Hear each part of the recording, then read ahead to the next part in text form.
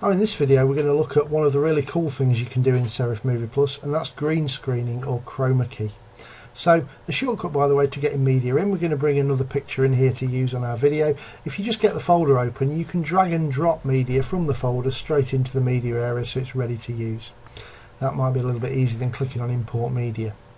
When we've done that we're going to drag the image onto the timeline so we've got it next to the clips that we did earlier and then we're going to go back to media. You'll see I've already got a green screen effects video in there.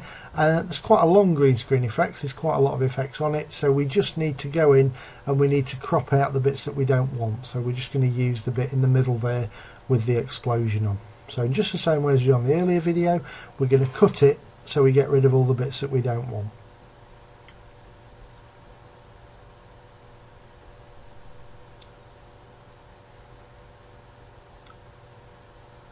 that's it. And then once we've got rid of them we can move them back so they're in the right place on the timeline. And then we repeat repeat the process to get rid of the bit that we don't want. So we'll move it up there. That's it. Just till it ends. That's it. And then we'll use the cut tool just to split it again. And then we can delete the section that we don't want. Now at the moment you'll notice the video is still a bit longer than the image. That's pretty easy to sort out all we've got to do when we bring it level and that's it line it up at the start there is to make sure that we can just click on the picture and we can drag it to the right to make it longer to make it last for the same length as the explosion video.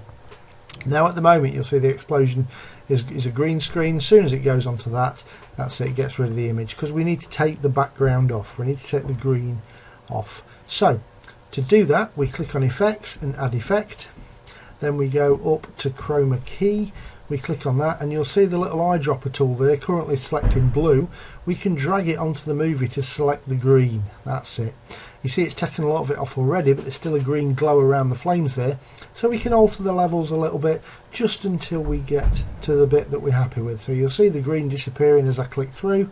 Just a question of playing with them until you get at something until you arrive at something that you think looks pretty good so if we play that we'll have a look. You can see we've got an explosion there in the middle of the beach.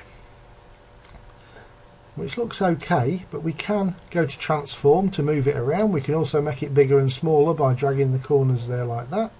And you can see we can just move it so it's on this top part of the beach rather than the bottom. If we play that again to have a look at what we've got there we go. It's starting to look a little bit more realistic now that explosion on the beach. We can go back into transform and just change it a little bit more make it a wee bit bigger or whatever we want to do. Now if you've got yourself a green screen video you can have a little play with that. You can put lots of different effects on and really make your videos looking quite cool